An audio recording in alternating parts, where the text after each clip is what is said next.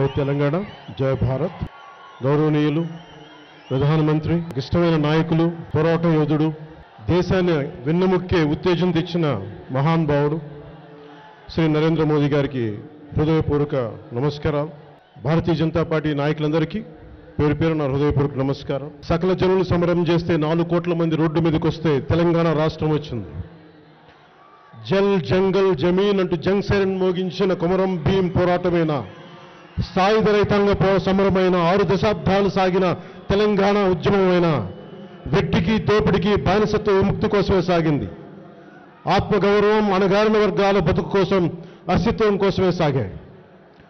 నీళ్ళు నిధులు నియామకాల కోసం సాగిన సమరం తెలంగాణ ఉద్యమం. తెలంగాణ సాధించుకోవడంలో విజయం సాధించాము కానీ తెలంగాణ నినాదాలు నిజం చేసుకోవడంలో విజయం సాధించామా లేదా లేదా అన్నది ఒక ప్రశ్న. నిజంగా నరేంద్ర మోదీ గారు ఎన్నికల్ని దృష్టిలో పెట్టుకుంటే ఆర్టికల్ త్రీ సెవెంటీ రద్దు చేసేవారు కాదు. ఎన్నికలనే దృష్టి ఆ ఎన్నికలనే దృష్టిలో పెట్టుకుంటే ట్రిపుల్ తలాక్ని రద్దు చేసేవారు కాదు. ఎన్నికలనే దృష్టిలో పెట్టుకుంటే మహిళా బిల్లు తీసుకొచ్చేవారు కాదు. ఎన్నికలనే తీసుకొస్తే రామ మందిరం నిర్మించేవారు కాదు. ఎన్నికలనే తీసుకొస్తే నోట్లు రద్దు చేసేవారు కాదు. ఆయన ఎప్పుడు దేశ ప్రయోజనాలే వారిని నిర్దేశిస్తే తప్ప ఎన్నికల ప్రయోజనాలు కాదు. అందరికీ అర్థం కాదు ఎందుకు నేను నరేంద్ర మోదీ గారిని నాకంత గౌరవం అని. రెండు వేల నాలుగు నుంచి రెండు వేల పద్నాలుగు వరకు మన గోకుల్ చాట్ లుంబిని పార్క్ దాడులు మొదలుకొని బాంబే ఆత్మహత్య దాడుల వరకు ఎంతమంది చనిపోయారు ఎంతమంది గాయపడ్డారు? చాలామంది చనిపోయారు. మోదీ ఇలాంటి పరిస్థితుల్లో నా కోరిక ఎప్పుడు ఒక బలమైన నాయకుడు కావాలి దేశానికి. ఆత్మగౌరవం నింపే నాయకుడు కావాలి ఆత్మవిశ్వాసాన్ని పెంపొందించే నాయకుడు కావాలి దేశానికి. అలాంటి నాయకుడు కావాలి అలాంటి నాయకుడు కావాలని నాలాగా కొన్ని కోట్ల మంది కళల కంటే ఆ కన్న కళలకు ప్రతిరూపమే శ్రీ నరేంద్ర మోదీ గారు ఈ దేశ ప్రధానమంత్రి. ఒక దేశ అభివృద్ధి కావాలంటే అంతర్గత భద్రత చాలా ముఖ్యం. ఈ రోజున రెండు వేల నాలుగు నుంచి రెండు వేల పద్నాలుగు నుంచి ఎన్ని టెర్రరిస్ట్ ఉగ్రవాద దాడులు జరిగితే ఈరోజు మోడీ గారు వచ్చినప్పటి నుంచి ఈ రోజు వరకు ఎలాగ కట్టడి చేశారో మీ అందరికీ తెలుసు మీకు. మన దేశం మీద దాడులు చేస్తే వెళ్ళి మీ దేశంలోకి వచ్చి దాడులు చేస్తామని చెప్పి ధైర్యంగా చెప్పి భారతదేశంలో ప్రతి భారతీయుడికి గుండెల్లో ధైర్యం నింపిన వ్యక్తి ప్రధానమంత్రి మోదీ గారు. ఈరోజు ఆయన పథకాలు జల్ జీవన్ మిషన్ స్వచ్ఛ భారత్ ఉజ్వల్ యోజన గరీబ్ కళ్యాణ్ యోజన జనధన్ యోజన ఆయుష్మాన్ భారత్ ఇలాంటివన్నీ ఎంత ఉపయోగపడ్డాయి దేశానికి అని భారతీయ విదేశాంగ విధానం కానీ భారతీయ ఫారెన్ పాలసీ కానీ ఏ విధంగా మనందరి ద- ప్రపంచం మొత్తం మీద మనల్ని చాటి చెప్పి భారతదేశం అగ్రగామిగా నిలబెట్టింది? అది నరేంద్ర మోదీ గారి నాయకత్వంలో. చాంద్రాయన్ త్రీ ఎంతోమంది వచ్చారు? నరేంద్ర మోదీ గారి నాయకత్వంలో మనం చూడాల్సింది ఎప్పుడు ఓటమికి గురైన శాస్త్రవేత్తలకి భుజం తట్టి నేనున్నాను పర్లేదని రెండో ఫెయిల్ అయితే మూడోది అద్భుతంగా చ- వెళ్ళని చోటకి. సౌత్ సైడ్ చంద్ర మన చంద్రమండలానికి పంపించిన ఘనత వారిది. అదే శాస్త్రజ్ఞులు అదే గొప్పవారు అదే విద్యావంతులు కానీ బలమైన సరైన నాయకుడు దెబ్బతిన్నప్పుడు భుజం మీద తడితే ఏ విధంగా ఉంటుందో ఈ రోజున భారతదేశం అభివృద్ధి చూడొచ్చు.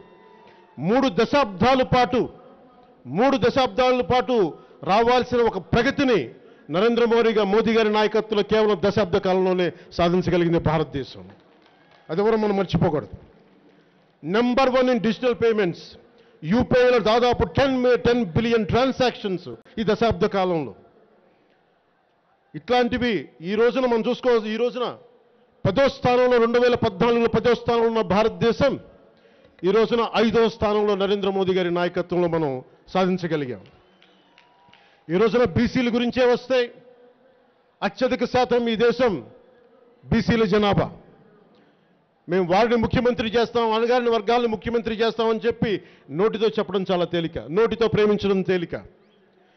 బీజేపీ నరేంద్ర మోదీ గారు బీసీలు నోటితో ప్రేమించలేదు. సీటుతో ఇచ్చి ప్రేమించింది. మాటలతో ప్రేమించలేదు. ముఖ్యమంత్రిగా బీసీని ముఖ్యమంత్రిగా చేస్తామని ప్రకటించి మరీ ప్రేమించింది.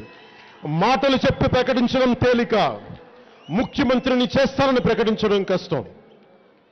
తెలంగాణ పోరాటాల గడ్డ పోరాటం అంతిమ లక్ష్యం శాంతి కోసం అభివృద్ధి కోసం. పోరాటం అంటే చావడం కాదు పోరాటం అంటే గెలవడం లక్ష్యాల్ని సాధించడం. భాగవతం పుట్టిన నేల ఇది. తెలంగాణ భాగవతం పుట్టిన నేల ఇది. బతుకు భారం అవ్వకూడదు. ఈ భాగవతం పుట్టిన నేలలో బతుకు భారం అవ్వకూడదు. మోదీ గారి నాయకత్వంలో బీసీల తెలంగాణ రావాలి. సామాజిక తెలంగాణ నిలదొక్కుకోవాలి. బీసీలు ముఖ్యమంత్రి కావాలి. దానికి జనసేన సంపూర్ణంగా పవన్ కళ్యాణ్ సంపూర్ణమైన మద్దతు భారతీయ జనతా పార్టీకి నరేంద్ర మోదీ గారికి ఉంటుంది. విజన్ ట్వంటీ ఫోర్టీ సెవెన్ దేశంలో అగ్ర ప్రపంచంలో అగ్రగామి దేశంగా కావాలంటే మూడోసారి ఆరేక్ బార్ మోదీజీ. మనస్ఫూర్తిగా మోదీ గారు కావాలి. ఇంకొకసారి ప్రధానమంత్రిగా ట్వంటీ ఫార్టీ సెవెన్ విజన్ని భారతదేశమే ప్రపంచంలో అత్యంత అద్భుతమైన దేశంగా తీసుకెళ్ళే బలమైన సత్తా ఉన్న నాయకులు కొత్త తరం నాయకులను తీసుకురాగలరు. అలాంటి బలమైన దేశం భద్రత ఉన్న దేశం బలం బలమైన ఆర్థిక వ్యవస్థ భవిష్యత్తులో ప్రతి భారతీయుడు చూస్తూ చూడాలి. అలాంటి భారతదేశం కోసం సాయశక్తిలో నా వంతు నేను కృషి చేస్తాను. ప్రధానమంత్రి గారికి అండగా ఉంటాం. ఈ ఎన్నికల్లో వారికి అండగా నిలబడతాం.